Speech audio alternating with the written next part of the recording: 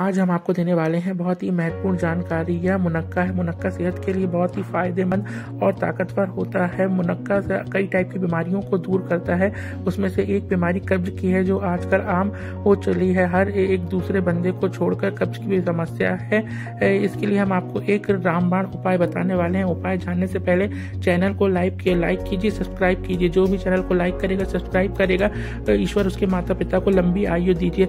आइए अब नुस्खे के बारे में बात बात कर लेते हैं है, आठ से दस मुनक्का लीजिए, उसे अच्छी तरह से धो लीजिए तथा उसके बीज निकाल लीजिए और इस मुनक्के को एक गिलास दूध में गर्म कर लीजिए, अच्छी तरीके से उबाल लीजिए। उबालने के बाद मुनक्का को चबा चबा कर खाइए और एक गिलास दूध ऊपर से पी लीजिए। यह प्रयोग खाना खाने के एक घंटे बाद तथा सोने के एक घंटे पहले कीजिए।